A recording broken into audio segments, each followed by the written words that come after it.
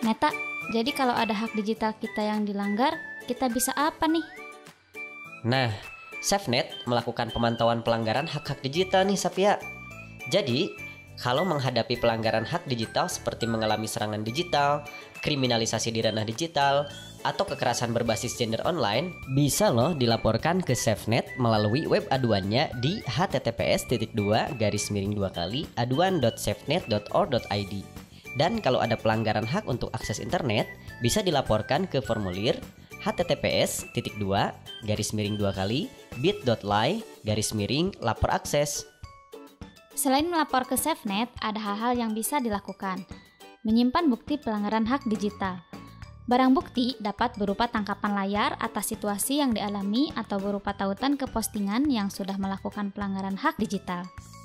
Berkonsultasi untuk langkah-langkah penanganan, misalnya apakah ada kebutuhan untuk mengamankan diri secara fisik, atau kebutuhannya cukup dengan peningkatan keamanan digital pada akun-akun yang kita miliki.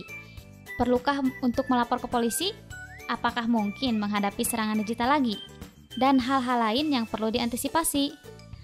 Penting untuk kita bisa mempraktikkan keamanan dan kebersihan digital secara rutin sebagai langkah pencegahan, karena pelanggaran digital mudah terjadi. Wah, iya, tindak pencegahan jadi penting nih. Apa saja nih yang kita bisa lakukan? Untuk bisa menerapkan langkah-langkah pencegahan atau menyiapkan langkah-langkah penanganan, maka penting untuk meningkatkan literasi hak digital.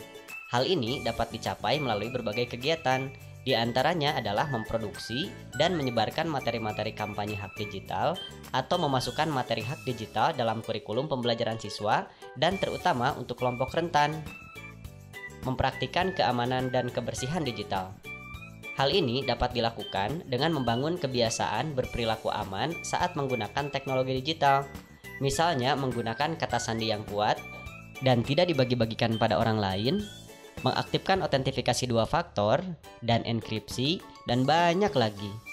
Mendorong dan mengawasi kebijakan serta penegakan hak-hak digital.